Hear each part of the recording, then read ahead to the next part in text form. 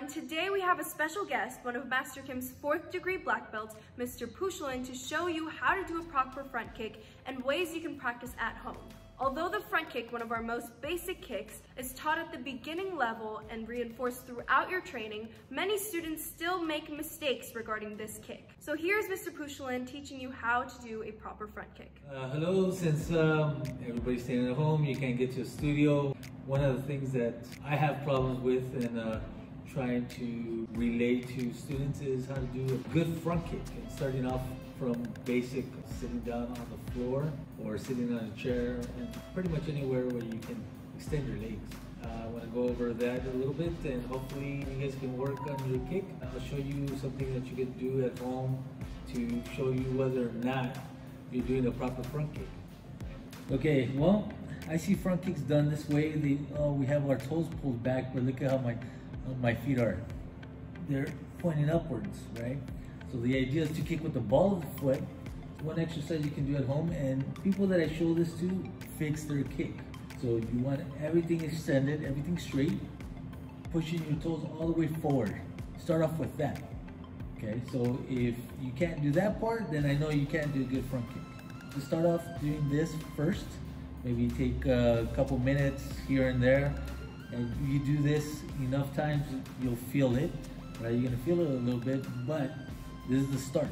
You don't do this part, if you can't do this, you can't do a good front kick, okay? After you can get, you're comfortable with this position, all you're gonna do is pull your toes back. Now you're hitting with the ball of the foot. Your toes are back, pull back, without moving your foot upwards. One trick that I want you guys to practice is, I was gonna get weights and just put them on top of your foot.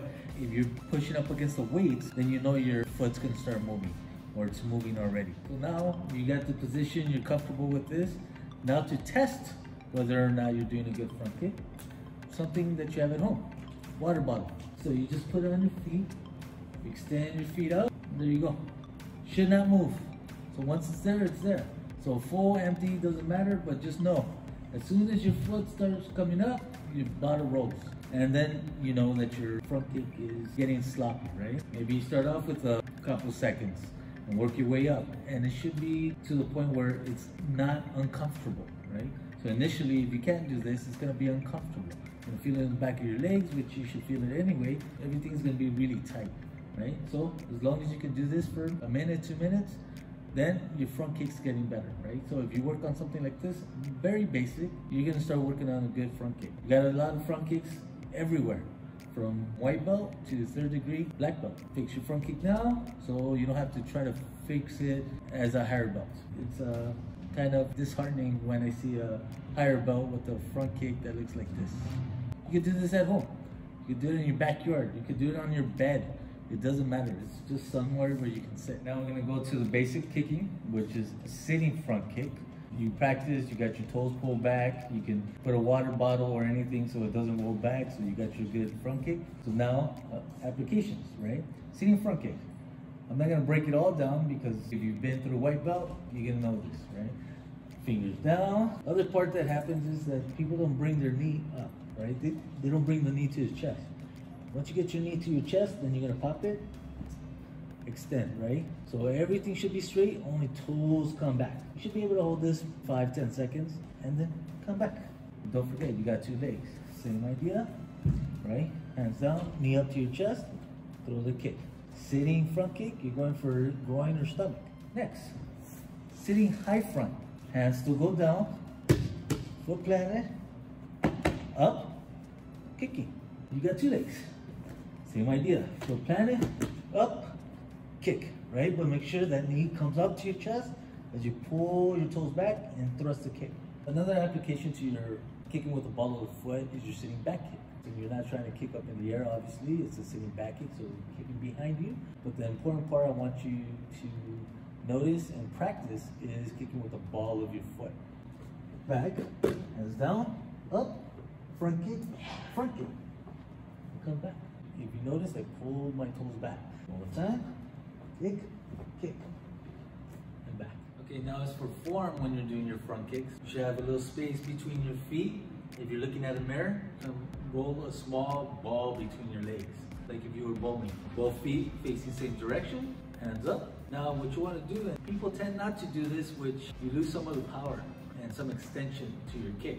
They don't pivot. So look at my front foot. So I turn, my hip pushes forward, same time my foot pivots, and I'm using upper body as well. So I'm putting it all together. So this is the first part. For a high stretch, inside, outside, front kick, side kick, roundhouse, heel outside, basically all your kicks. Knee comes up. Build your wall. Think about getting your knee up to your elbow. Once it's there, you're gonna thrust it. With slow motion, right? Right? Knee up, thrust and kick. Back. Always hands up to protect. As soon as you start dropping your hands, that's when you could get kicked and punched in the face. So make sure your hands stay up and back. Same idea, opposite form. You're gonna pivot, from foot turns, hip pushes forward. So you think about you kind of hitting a little bit with your hip, and the front, so like a fake punch. Not extended, but faking. It comes up, and extend your kick. Pay attention to my feet. I don't lift my bottom foot. I don't lift it up. You want it planted. Here, yeah, kick, and back. Hey. And back. And that's something you can use inside your house, whether it's a table, a chair, your your bed, your mattress. Doesn't have to be super sky high unless you want to practice for height, but something where you can basically rest your feet or your foot. Start off in good form, pivot, it comes up, you're gonna thrust a kick above, and then just hold it. Hold your form. Bottom foot has to pivot, right? If it's pointing towards the chair, you didn't pivot your foot. You should be able to hold this no problem. Get the, those toes pulled back, foot straight, just hold it there. Want to get a little bit of muscle in your leg, press down. You got both sides, right? So you're gonna do both sides, same idea, just hold it. Thank you, Mr. Pouchoulen, for giving us this wonderful lesson and providing us with so many helpful tips. Now you can practice the front kick at home. Thank you so much for watching. Tune in for our next video. Bye!